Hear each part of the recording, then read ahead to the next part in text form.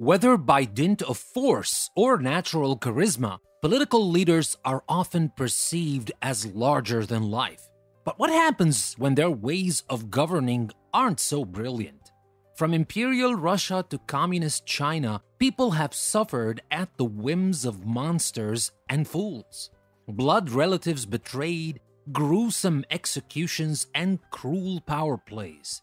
These distasteful and sometimes downright evil attempts at governance are best left in the past, despite their poisonous persistence. Are you wondering what this episode is about? Well, this is the last episode of our series, Shocking Events That Made History, and today we're gonna talk about shocking events related to leaders and losers. We're gonna talk about the Roman Empire, Ivan the Terrible, the real Dracula, Richard III, the Boleyns, the end of the House of Bourbon, Hitler's regrettable ninth life, Mao Zedong's terror teens, April Cruel Day for Saddam Hussein's son, Cannibal Kings, and then we're gonna talk about some shocking events related to wars. So don't go anywhere. This is your host, Danny, and this is a new episode from English Plus Podcast. And again, this is the last episode of our series, Shocking Events That Made History. Whether this is the first time you're listening to this series or if you've been following the series since the beginning, you don't want to miss this episode because it has a lot of exciting and, of course, shocking events that made history. That's coming next. Don't go anywhere. I'll be right back.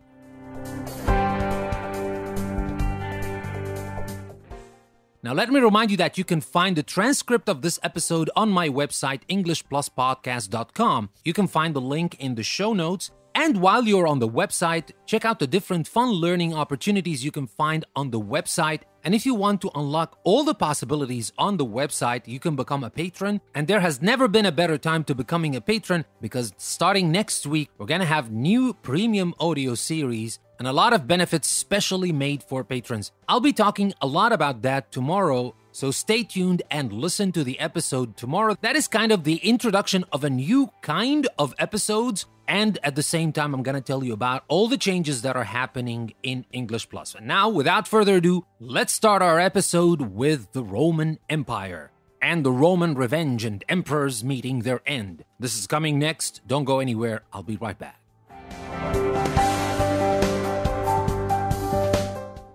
Roman Emperor Caligula may have been one of the most depraved rulers in history. A self proclaimed god who slept with his own sisters and blissfully reveled in the bloodletting of friend and foe alike. But it wasn't his cruelest excesses that ultimately did in the half mad monster. Rather, it was his incessant teasing of a particularly sensitive member of the Praetorian Guard.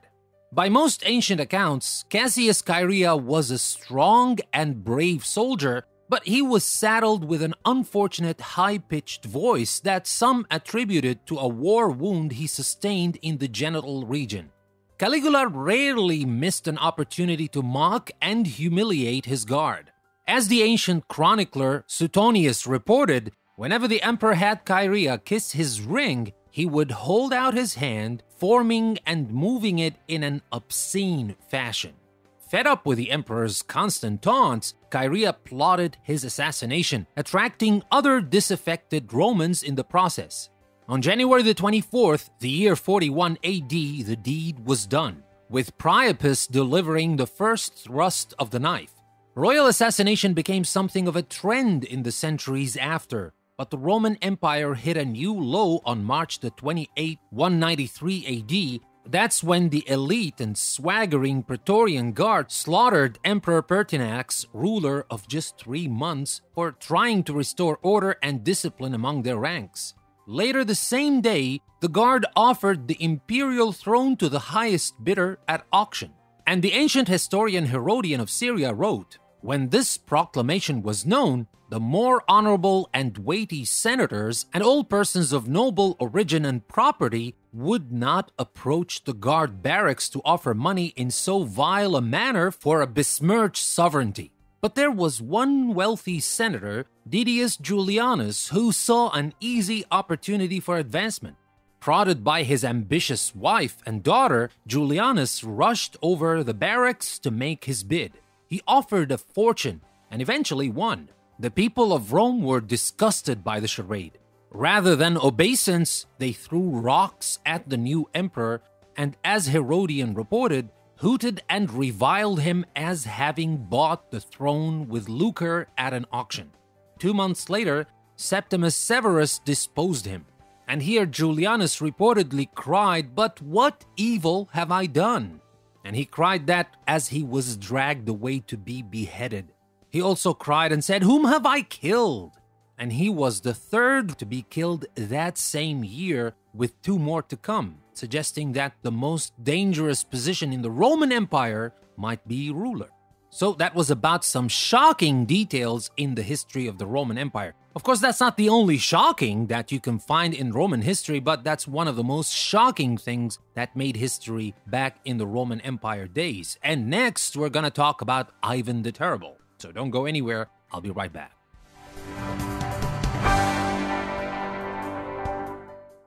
Before Ivan IV became the Terrible, only animals suffered. The gleeful child prince hurled dogs and cats from high towers.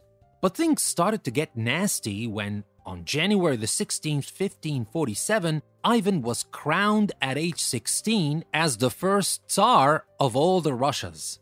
Soon, entire cities suffered from the Tsar's increasingly imbalanced fury, most notably the city of Novgorod in 1570. The dangerously paranoid Ivan convinced his people planned to betray him in favor of the King of Poland, ordered the city to be thoroughly sacked. Thousands of men, women, and children, from the elite to the lowliest peasants, were systematically massacred. The rampage continued in Moscow that summer when hundreds of the Tsar's enemies were skinned, boiled, burned, or broken in an orgy of retribution on Red Square.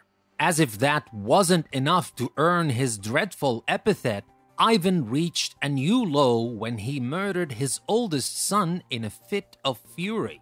Three years later, in 1584, Ivan himself was mercifully dead. So, Ivan the Terrible, he was called for very good reasons. But that's not the last shocking event we're talking about that is related to leaders and losers. Next, we're gonna talk about the real Dracula who might be even scarier than the one we find in Bram Stoker's book. So don't go anywhere, I'll be right back to talk about the real Dracula.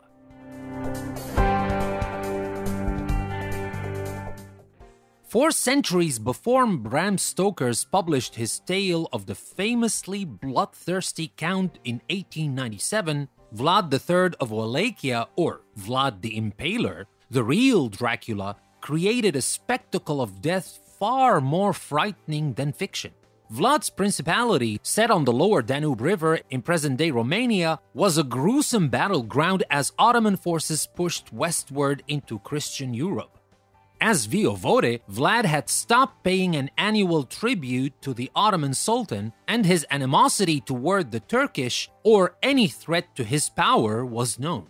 On the night of June the 17th, 1462, Vlad and his army surprised a slumbering camp of invading Ottoman Turks, but in all the mayhem, he missed killing his intended quarry, the Sultan himself, Mehmed the Conqueror. So Vlad prepares something more chilling for his enemy. Approaching Wallachia's capital of Târgovist, the Sultan and his army met a horrific display.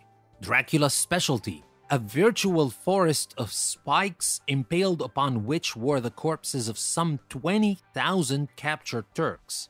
So ghastly was the sight that even the Sultan was repulsed, retreating straight away with his terrified army. So, do you think the real Dracula is scarier than fiction? Or maybe the fictitious Dracula is scarier? I don't know, you decide. And by the way, in the latest Hollywood Dracula movie, they kind of brought the story to the movie. Uh, of course, they made him larger than life and he was a vampire and he could fly and everything. They added some elements of fiction, but they also added some details from history, from the real Dracula. They kind of mixed it up. I don't know if you watched the movie, it's not my best type of movies or whatever, but it was kind of different from the typical Dracula movies where you find him in a coffin and just like he goes out at night and drinks blood and stuff like that. It's different. So if you haven't watched it, you might want to watch it, and it's not a horror movie anyway. But that was about Dracula, and that's not the last shocking event in today's episode. The next event, we're gonna talk about Richard III, the original Tricky Dick. That's coming next. Don't go anywhere. I'll be right back.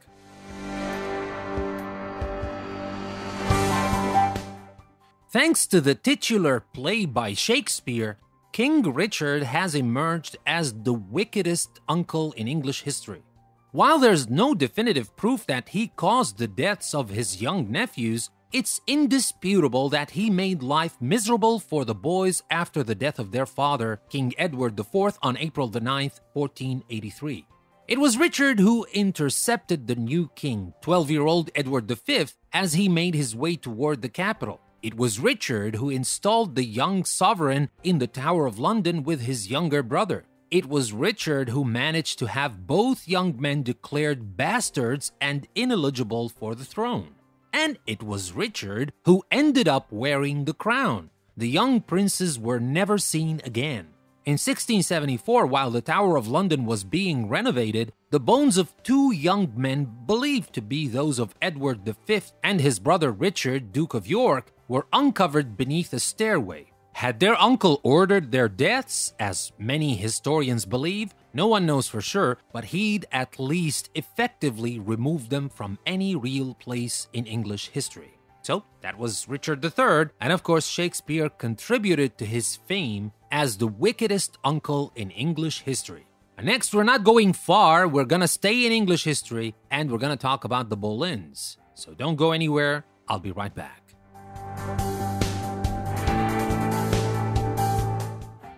Thomas Boleyn could not have been soaring higher in the court of Henry VIII. He was the king's father in law and relished the bounties that this exalted position afforded. But in May 1536, ghastly accusations arose charging incest between his children, Queen Anne Boleyn and George Viscount Rochford. The queen, the salacious indictment read, and here I quote, tempted her brother with her tongue in the said George's mouth, and the said George's tongue in hers, and also with kisses, presents, and jewels. Many historians dismiss the allegations as an excuse for King Henry VIII to free himself of Queen Anne, who had yet to bear him a male heir. Contemporaries called the bluff too, a few even bet on George's acquittal. Yet the siblings were condemned in separate trials held on May the 15th.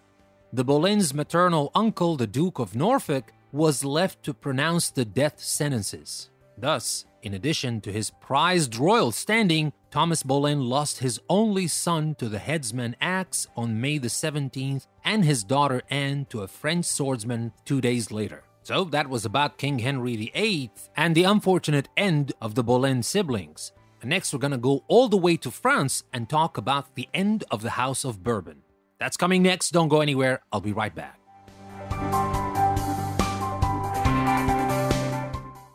The execution of Louis XVI in January 1793 and later that year of Queen Marie Antoinette ended what was known as the Ancien Régime in France. But for the surviving members of the Bourbon royal dynasty, it was only the beginning of their troubles. Bad luck and poor decisions plagued the family for the next three decades until it finally buried them altogether. The Bourbon monarchy didn't quite end when the guillotine severed Louis XVI's head in 1793. His only son automatically became Louis XVII. But there would be no crown for the seven year old boy, only isolated imprisonment and vile mistreatment at the hands of his captors. And one time, a doctor was allowed to see him, and the doctor reported that the child was a victim of the most abject misery and of the greatest abandonment. When the child succumbed to disease in 1795, his uncle succeeded him in exile as Louis XVIII. But Napoleon Bonaparte was destined to rule France next, so Louis XVIII bided his time as a guest in other kingdoms until Bonaparte stumbled by invading Russia and was driven into exile at Elba. The Bourbon restoration seemed assured, as Louis was invited back to France in 1814 to rule as a constitutional monarch and except for a brief exile the following year when Napoleon escaped Elba and stormed back to France, the obese and gouty king ruled in relative peace until his death in 1824. Then his brother and successor, the ultra conservative Charles X, blew it for the Bourbons once and for all. The new king was determined to rule as an absolute monarch, as if the lessons of the revolution had been lost on him entirely. Charles dispensed with the constitutional restraints his predecessor had adopted. By August 2, 1830, in the midst of a burgeoning second revolution, the last Bourbon of the direct royal line was forced to abdicate, taking with him any notion that rule by divine right could be reconciled with France's new leanings toward democracy. So, with Charles X came the end of the House of Bourbons in France. Next, let's move all the way to Germany to talk about the infamous Hitler, of course, and to talk about his regrettable ninth life. That's coming next. Don't go anywhere, I'll be right back.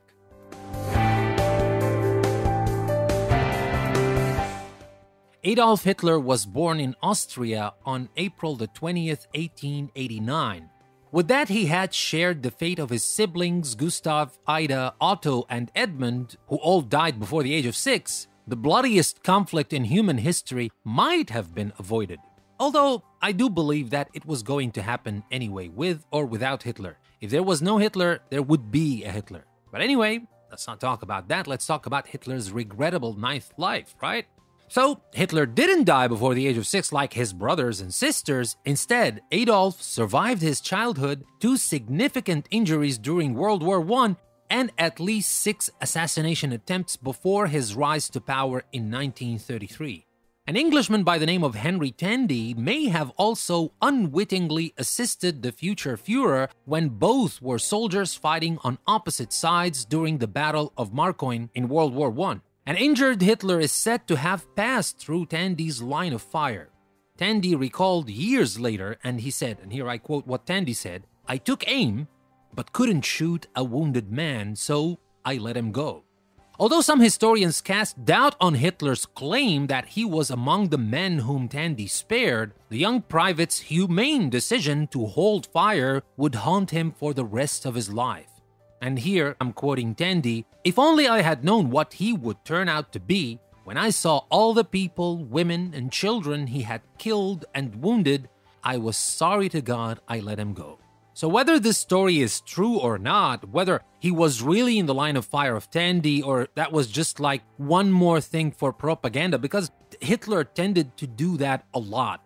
He used to brag about surviving all these assassination attempts because he thought he was protected by God. And what a surprise! I mean, if you look at history and see all these tyrannical maniacs and murderers, almost all of them do all these hideous things they do in the name of God. Anyway, that was Hitler's regrettable ninth life, whether that story was right or not, but it was one of the most shocking events that made history, and that's why it made it to our series and to the last episode where we're gonna talk about shocking events related to leaders, losers, and wars. And next, we're gonna talk about Mao Zedong's terror teens. So don't go anywhere, I'll be right back.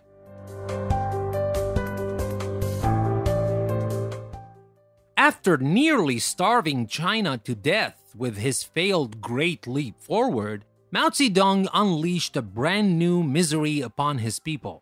His so called cultural revolution was meant to destroy every vestige of ancient culture or Western influence. It was enforced by surly teenagers who were transformed into Red Guards, millions of whom, as reporter Robert Elegant wrote, stalked across the vast nation like hordes of enraged soldier ants. This decade long spiral into insanity began on May 16, 1966, and upended the country's traditional respect for elders. Mere youths wielded ultimate control over personal property, human dignity, and even life, a power they sorely abused. Zhang Hongbing was one of the millions of teenagers blindly beholden to Chairman Mao and left to cope with the wreckage of his own actions after Mao died in 1976. Zhang's denouncement of his own mother had led to her summary execution in 1970. And here I quote what Zhang said in 2013. He said, I see her in my dreams, just as young as she was then. I kneel on the floor, clutching her hands for fear she will disappear. Mom, I cry. I beg your forgiveness. But she doesn't respond. Never once has she answered me. This is my punishment. I mean, of course, that was just one example of the atrocities that happened. And I want to make something clear here. When we talk about people, I mean, we, we talked about Hitler. Well, that doesn't belittle the German people or Germany as a country in any way. And also Mao Zedong, that doesn't belittle China in any way. I mean, China has one of the richest cultures in our history. And we're not talking about people who belong to certain countries. Now, if you've been following along in the series, you know that there is no discrimination, and I talked about almost everybody. But the point is that certain people were given the power, or they kind of seized an opportunity they had, and they were kind of lucky. And I can't explain why luck comes to people like that. And of course, they were cunning, they were clever in a way, megalomaniacs, of course, but they were clever nonetheless. And while they had the chance to use all that power they had to bring peace and prosperity upon their people, they made their people and some of them, even the rest of the world, suffer. And millions of people died because of it. So I can't imagine anything more shocking than this, but that's not the last shocking event in today's episode because we still have more. And next, we're gonna talk about Turkmenistan's lunatic leader. That's what we're going to talk about next. I'll be right back.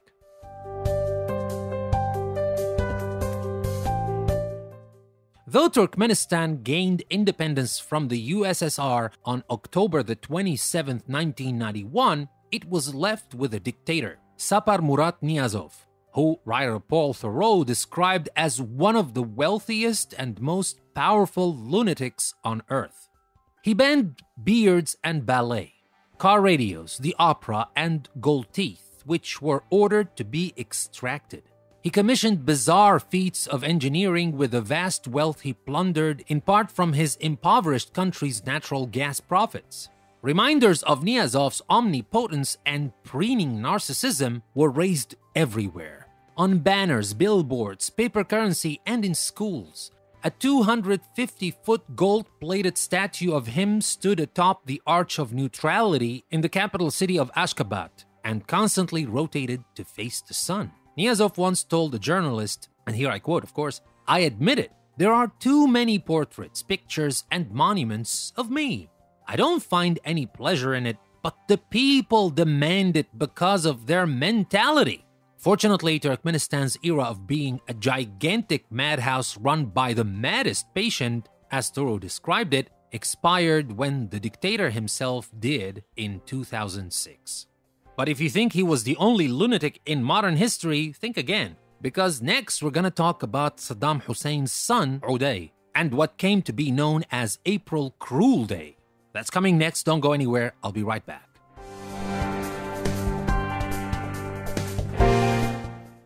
When Iraqi dictator Saddam Hussein's maniacal son Uday wasn't torturing people to death or plundering the state to fund his lavish lifestyle, he loved a good gag.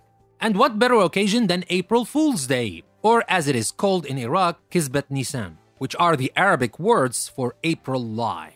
On April 1, 1998, the Uday owned newspaper Babel published a front page article declaring that the UN sanctions imposed after Iraq's invasion of Kuwait would be lifted. On the second page, readers were let in on the joke, which no doubt left thousands of deprived and malnourished Iraqis howling with laughter. Uday topped himself the next year with the outrageous announcement that meager food rations would henceforth be supplemented with bananas, chocolate, and soft drinks. A few years and more perverse shenanigans later, a deadly raid put an end to Uday and his antics. Next, we're gonna move all the way to Africa and we're gonna talk about one of the most distasteful coronations in history. So don't go anywhere, I'll be right back.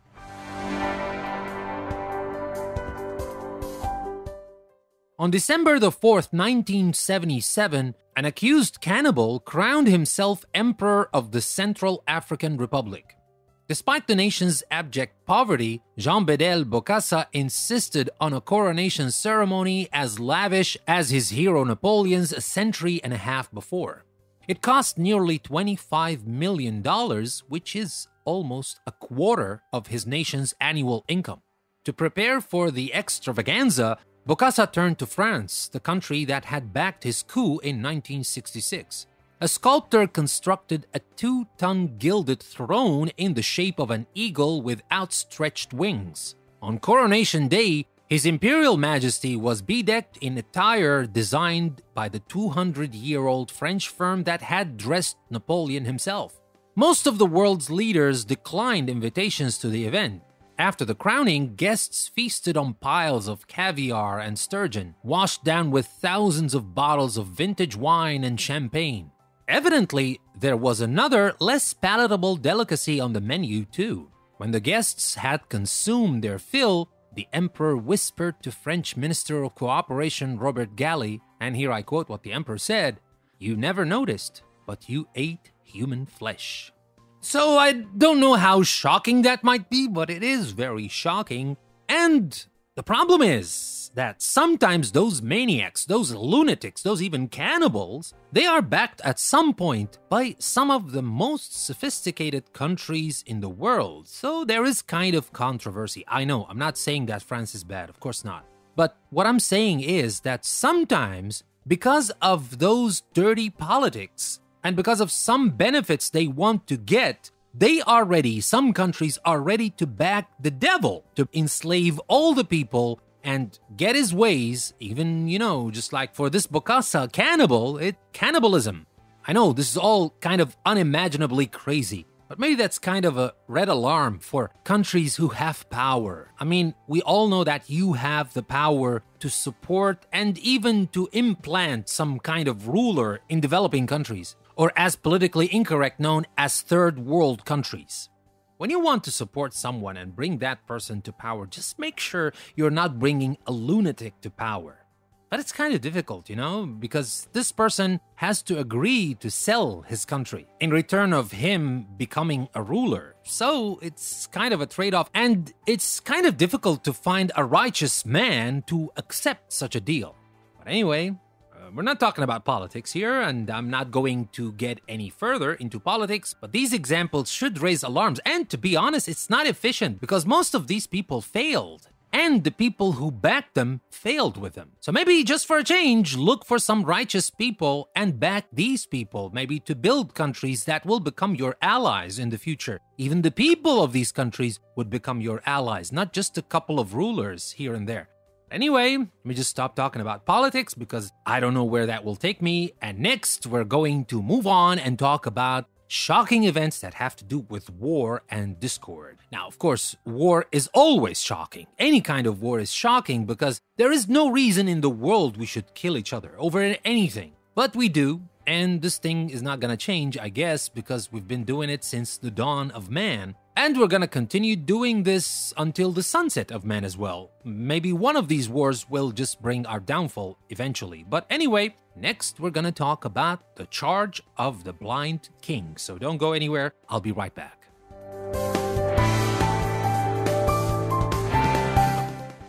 King John I of Bohemia was a brave warrior, no doubt about that, but he was also blind well, which was uh, obviously a distinct disadvantage in any battle, particularly so on August 26, 1346, when John and his ally Philip VI of France faced the English army of Edward III at Crécy. With the introduction of the lethally efficient English longbow, warfare took a decided turn in this clash of kings. John, however, was undeterred, eager for action. The sightless monarch who was at age 50 well past his prime, gathered his most loyal comrades around him. And according to the contemporary chronicler Jean Froissart, King John said to those comrades, and here I quote, Sirs, you are my men, my companions and friends in this journey. I require you bring me so far forward that I may strike one stroke with my sword. To accommodate their king and guide him into the thick of the battle, the men tied all the reins on their horses together and charged. As Froissart concluded his account of the ill fated effort, they adventured themselves so forward that they were there all slain, and the next day they were found in the place about the king. So, here you might say that was kind of a brave thing to do, but for me it's kind of a stupid thing to do because why would you just go to your death? Because of what? What's the point? Why would you just like so valiantly go to death? To defend what? To defend your king who cares nothing about you? Or who just wants to die a glorious death? But of course, I will have to say that this happened a long time ago, and back then ideas were different. But till now, some people are still doing it. Well, not for a king, but for people who care nothing about them. They are ready to die for people who don't give anything about them. But anyway, that was the charge of the Blind King, our first shocking event that has to do with wars. But it's definitely not the last. We're going to talk about an unfortunate footnote to the Civil War. That's coming next. Don't go anywhere. I'll be right back.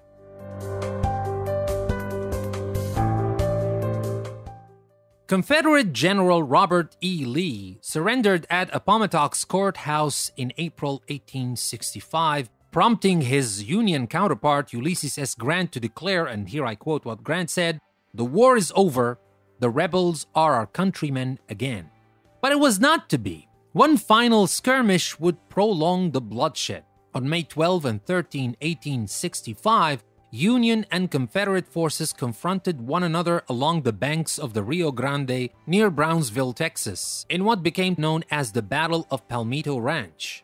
The fighting started when Union Colonel Theodore H. Barrett ordered an attack on the Confederate camp, possibly because he was eager to see action before the war's end, or possibly because he needed horses. Whatever the case, what followed was a small, insignificant clash with relatively few casualties on the heels of the bloodiest four years in American history. The Confederacy triumphed with the capture of dozens of Union soldiers, but it would not change the reality that the South had been defeated. Among the casualties of battle was the luckless Union private John Jefferson Williams, who earned the dubious distinction of being the last soldier killed in the Civil War that had already ended. So that was something shocking. Of course, the Civil War in its entirety was shocking, but you know, we're just talking about some shocking events that you might not have heard of. I'm pretty sure that you know a lot about the Civil War, but maybe not about this little detail I just mentioned as one of our shocking events that made history. And next, we're going to talk about the wrong turn that led to World War I. So don't go anywhere. I'll be right back.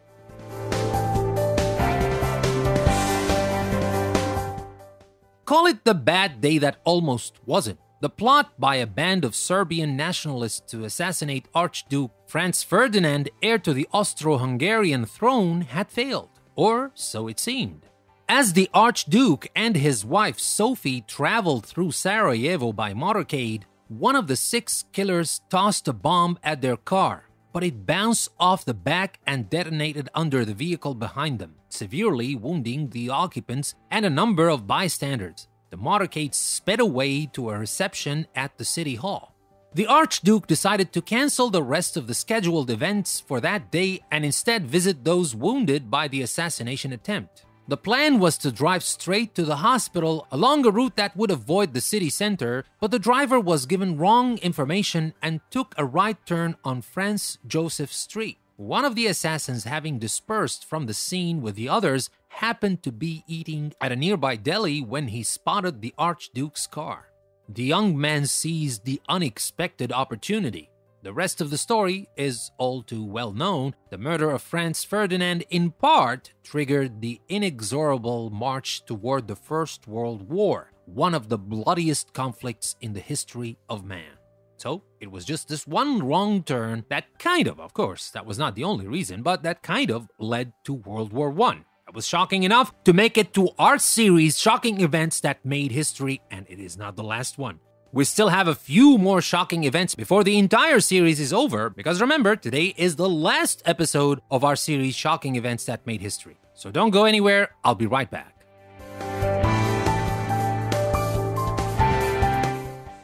Now, this shocking event is not exactly related to war, but the shocking thing about it was kind of caused by the war, and we're still talking about World War I. But it has to do with a movie, and that happened in 1917. Producer Robert Goldstein made a seemingly patriotic revolutionary war epic called The Spirit of 76. an earnest recreation of such all American episodes as Paul Revere's Midnight Ride and the signing of the Declaration of Independence, there were also less wholesome depictions of the villainous British bayoneting babies and dragging away American girls by the hair. And that's where Goldstein and his film ran afoul of the US government. The United States was just entering World War I in May 1917 when The Spirit of 76 was screened in Chicago. With its patriotic themes, the timing of the film's debut seemed perfect. The authorities thought otherwise. Goldstein was ordered to cut the scenes of British atrocities lest they inflame the public while the country fought side by side with Britain in Europe. The producer complied, but when the film premiered in Los Angeles on November the 27th, the excised scenes had been restored. Goldstein was arrested and charged under the recently passed Sweeping Espionage Act. He was sentenced to 10 years in prison, and though he served only three, his stilted representations of British atrocities from a century and a half earlier had made him an enemy of the state, and he was a ruined man. So, it's kind of strange, you know, just like when the government tells you when to tell the truth and when not to tell the truth, because now it's not the time. And sometimes when you tell the truth, you may become a spy, who knows? But anyway, again, let's not get into politics, and next we're gonna talk about President Woodrow Wilson when he was out of his league. That's coming next. Don't go anywhere, I'll be right back.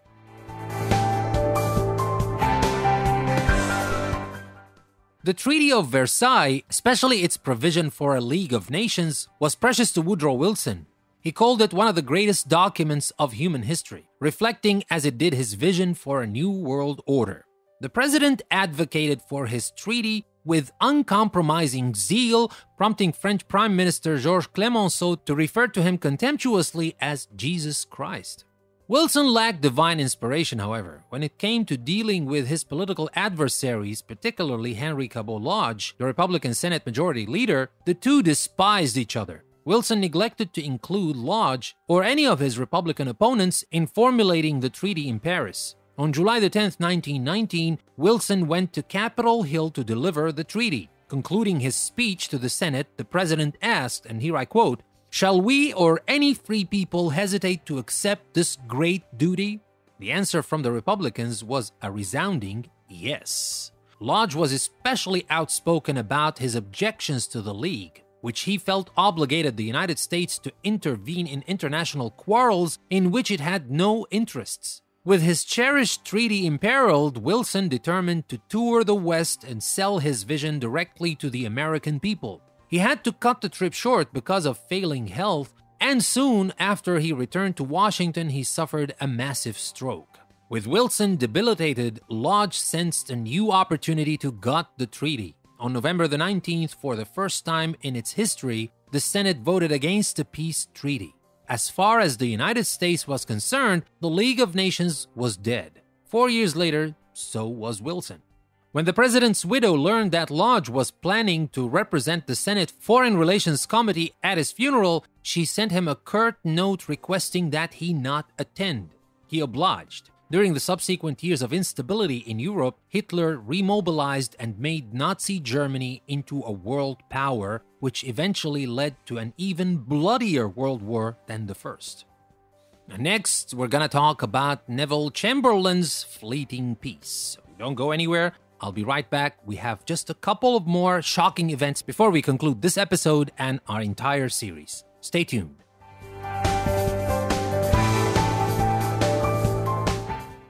Prime Minister Neville Chamberlain returned from Germany on September the 30th, 1938, with a pact he was certain would ensure peace for Britain. A crowd roared its approval when he read from the document he had signed with Adolf Hitler, struck with the intent that our two peoples never go to war with one another again. Chamberlain and other European leaders had just negotiated the Munich Agreement, which allowed Germany to claim most of Czechoslovakia in exchange for the guarantee that the Third Reich's territorial ambitions would end there. For a nation with fresh memories of the Great War's carnage, the diplomacy made Chamberlain a hero. Returning to his residence, he shouted his immortal message to the masses. And here I quote what he said Peace for our time. Well, his triumph was short lived. Hitler soon broke the agreement and Chamberlain resigned in 1940. Winston Churchill, who'd from the start declared the Munich Agreement a defeat, rallied Britain through the Second World War. And next, we're going to talk about something related to General Douglas MacArthur. So don't go anywhere, I'll be right back.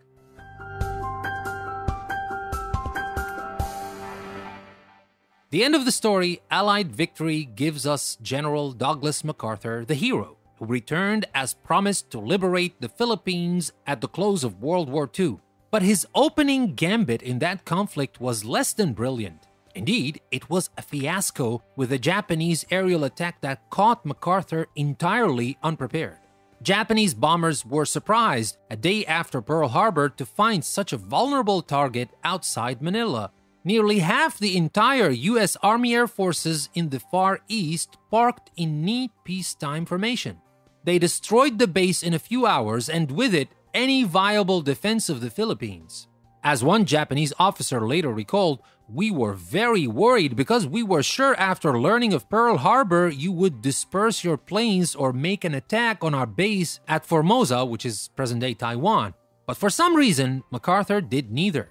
The general's biographer, William Manchester, called MacArthur's inaction one of the strangest episodes in American military history. So, yes, the end of the story, we know that General Douglas MacArthur is the hero, but his start was not all that brilliant. And trust me, of course, I'm not saying that he was not a brilliant man in the end, but many of these victories were achieved by the blood, sweat, and tear of the man on the ground, of those soldiers who gave their lives to get these victories. And yes, of course, they were the strategists, those leaders, those colonels and generals, etc., but those men brought victory more than anybody else. But anyway, again, no politics, only shocking events in our series. And next, we're going to talk about something that is related to Lieutenant General George S. Patton. So don't go anywhere. I'll be right back.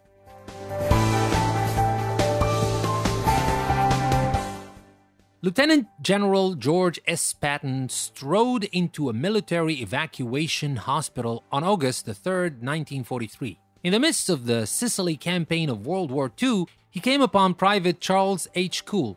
Slouched on a stool, looking too well to be there, Patton demanded to know where he was hurt, to which Private Kuhl reportedly replied with a shrug that he was not wounded but nervous.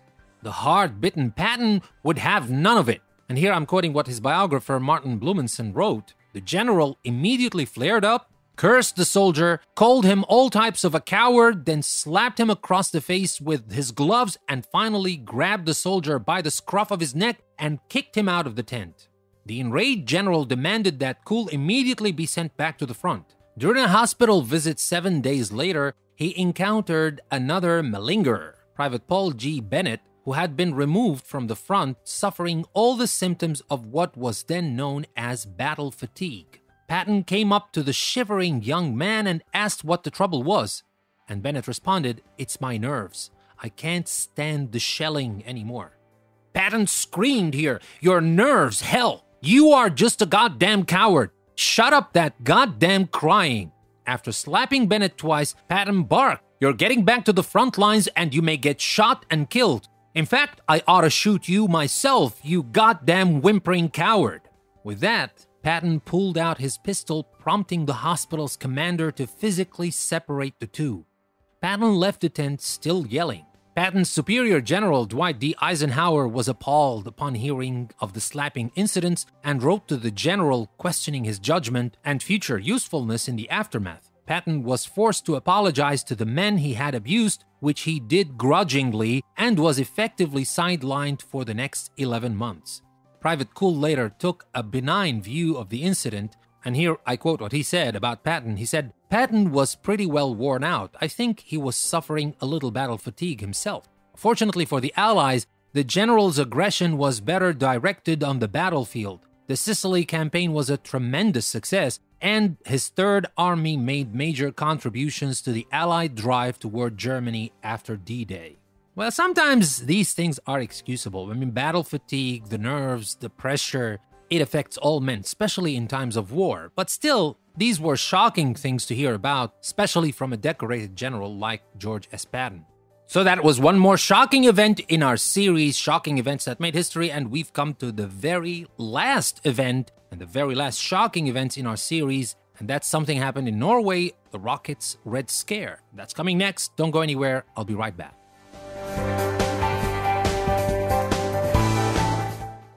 A bad day averted can still be a very bad day. And that was when the world was just a blink away from nuclear annihilation on January the 25th, 1995.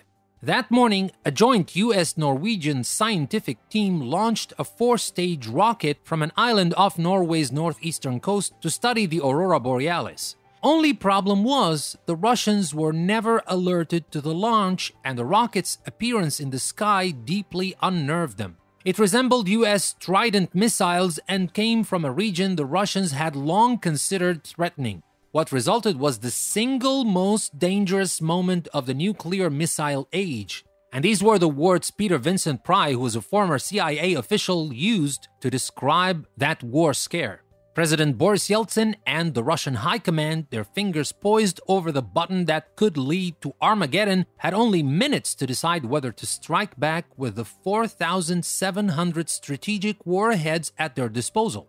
Fortunately for the fate of mankind, the rocket headed away from Russian airspace and fell into the sea.